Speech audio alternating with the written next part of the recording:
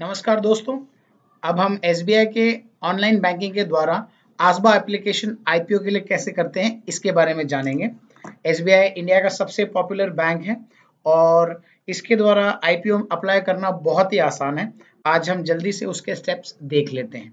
सबसे पहले आपको लॉगिन करना है आपके ऑनलाइन बैंकिंग के मेन पैनल पे। जब लॉगिन आईडी पासवर्ड डाल के आप अंदर आते हैं तो आपको जाना है ई सर्विसेज़ पे। ई सर्विसेज़ में आपको लेफ़्ट हैंड साइड में एक सेक्शन दिखेगा। इस सेक्शन में आपको जाना है डीमैट एंड आसबा सर्विसेज़ पे। जी हाँ डीमैट में आपके शेयर्स आते हैं और आसबा का एप्लीकेशन है। जैसे ही मैं क्लिक करता हूँ तो इसमें अलग अलग ऑप्शन मेरे को दिखाई देते हैं, जिसमें से demat sorry ASBA services IPO में आईपीओ इक्विटी सेक्शन पे आप जा सकते हैं। डेट यानी कि बॉन्ड्स उसमें जाने की ज़रूरत नहीं है। हम शेयर्स के लिए अप्लाई कर रहे हैं तो आईपीओ इक्विटी का ही अप्लाई करेंगे। इस पर क्लिक करते ही पहले वो आपको एक अप्लाई फॉर न्यू फॉर्म का छोटा सा नोटिस देता है, जिसको आपको एक्सेप्ट करना है। आप एक बार पढ़ लीजिए ताकि उसमें डिटेल्स क्या है वो आप जाने, उसके बाद ही एक्सेप्ट करें।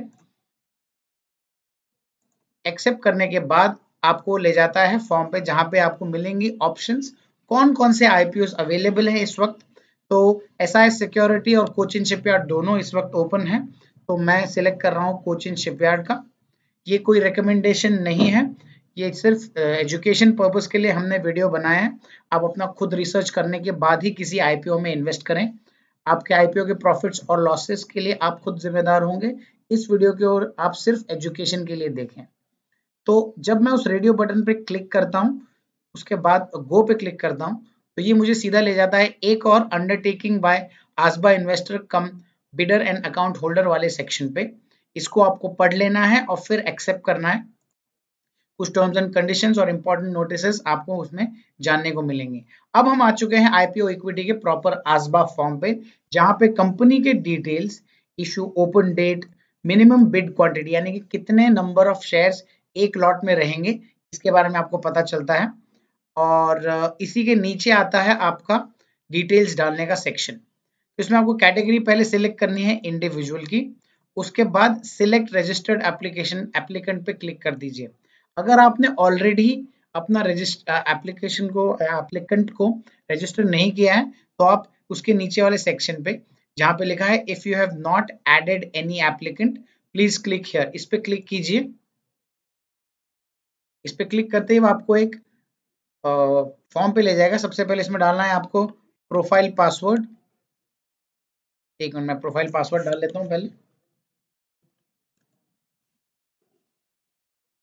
प्रोफ़ाइल पासवर्ड डालते ही आपको वो एक ऐसे सेक्शन पे ले जाता है जहाँ पे आपको अपनी डिटेल्स डालनी है, जैसे कि नाम, पूरा नाम पैन नंबर पैन कंफर्म करना है, साथ में सिलेक्ट करना है एनएसडीएल या सीडीएसएल पे है, उस पर क्लिक करते ही आपको आपका डीपीआईडी क्लाइंट आईडी और निक नेम ये निक नेम एक शॉर्टकट होगा जिसके थ्रू आप आसानी से हर बार आईपीओ को अप्लाई कर सकते हैं।